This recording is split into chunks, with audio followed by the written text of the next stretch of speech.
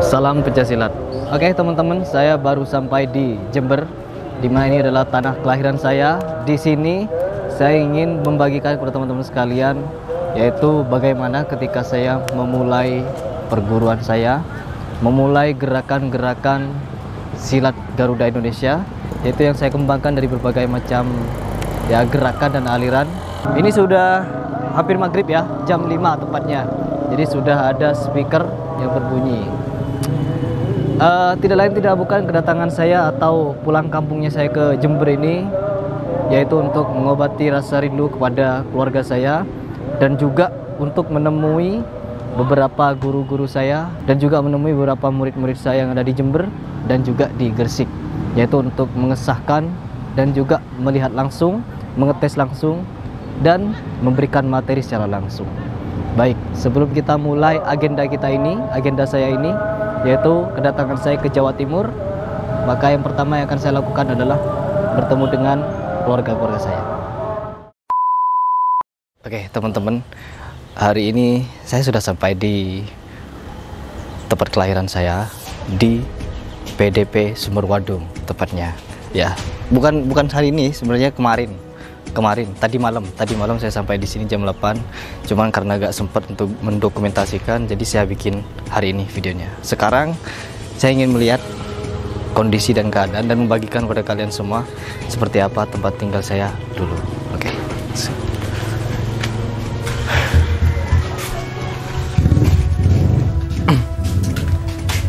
Oke, okay, teman-teman. Nah, di sinilah saya istirahat kamar tempat saya belajar dan juga berlatih.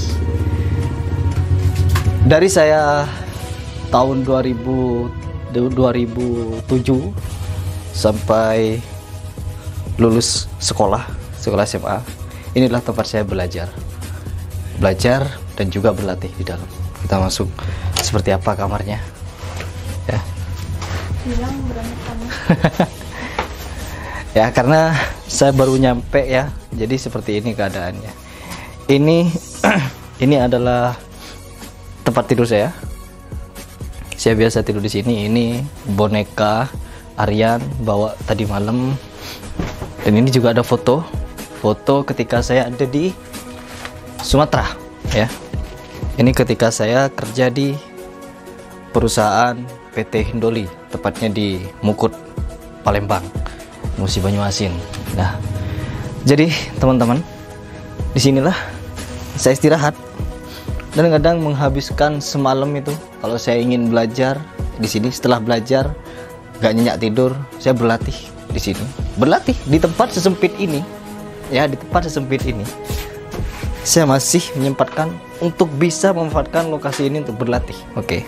Jadi saya masih sempat untuk berlatih. Berlatih apa? Ya.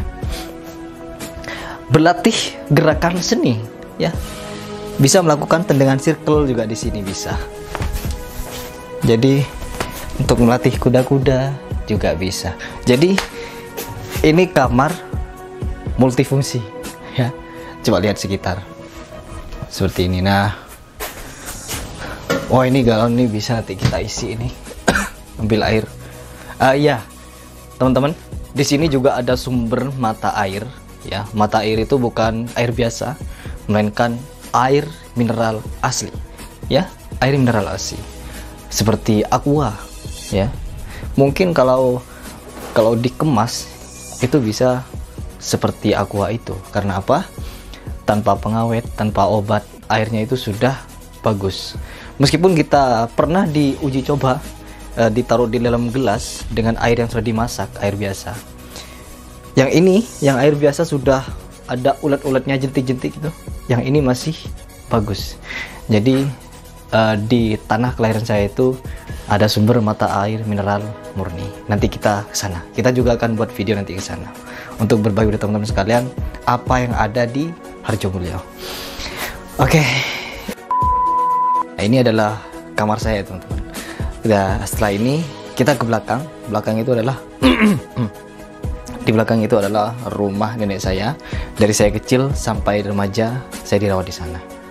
Oke, kita langsung aja ke belakang. Oke, sekarang kita ke belakang.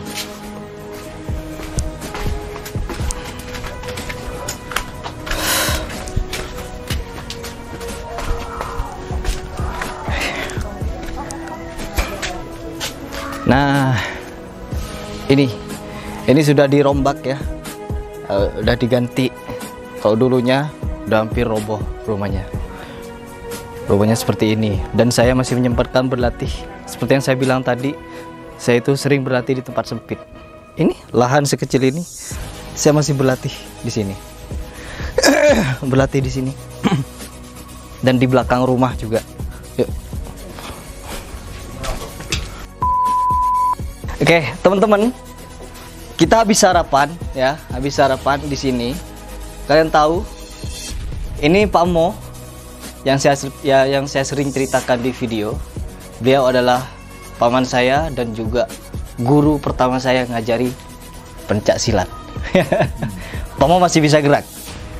Dan Hong Kong. Ah? Tak ada yang tak bisa gerak. Jadi kalau kata Pak Mo, kalau sekarang sudah susah bergerak karena usia ya. Jadi. Nggak nggak perlu kita gerak-gerak lagi. Tapi kalau dulu beliau luar biasa. Ya kita bisa harapannya inilah sini kamera. Ini adalah sarapan kita pagi ini khas kampung ya. Apa ini Mbak? Terong. Terong. Terus ini eh, cakalan ya, Ikan. ikan ya. Ikan laut. tahu tempe ini nih ini yang paling saya suka ini kacang teman-teman. Ini jagoan saya. Ini yang ngerawat saya juga dari kecil ya. Sampai saya saya pernah kebakar kaki ini. Ya ini teman-teman kalau teman-teman lihat. Gendong sama ini anaknya. bekas kebakar sampai sini. Saya nggak bisa jalan ya sini. Saya nggak bisa jalan. Beliau yang gendong saya. Tapi kalau sekarang udah nggak bisa gendong saya emang. Andor Pak. Nah, teman-teman, ini adalah kakak saya. Beliau juga adalah seorang guru bagi saya, di mana dari pertama saya masuk ke sekolah SMP, tepatnya. Beliau juga mengajari saya gerakan-gerakan dan juga self defense bela diri. Jadi peran, ilmu dan juga yang saya dapat dari beliau banyak, ya, karena dia juga seorang pendekar. Ini bikin jamu apa? Mulawak Temulawak untuk untuk asam lambung. ya kebetulan teman-teman. Eh, sini kamera. Kebetulan saya juga punya asam lambung. Nah bener. Apa? Alami. Nah ini namanya jamu alami. Tanpa kimia. tanpa kimia tanpa pengawet. Tanpa pengawet. oke. Langsung jadi, langsung bisa diminum. oke sini.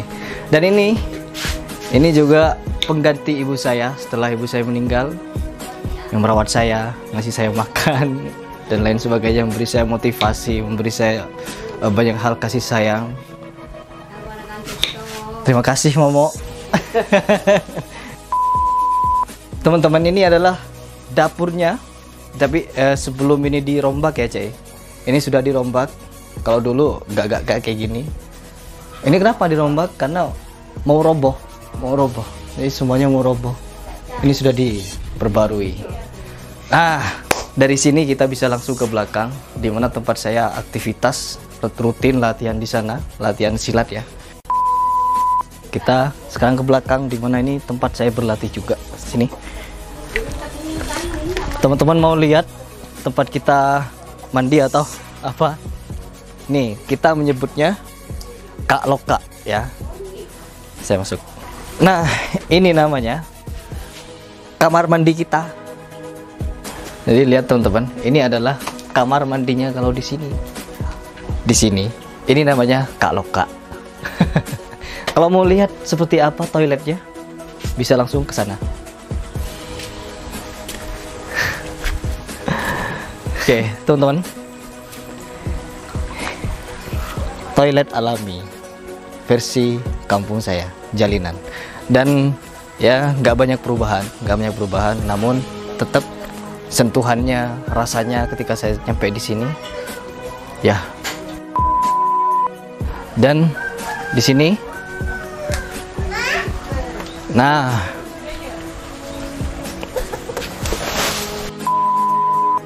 Ini.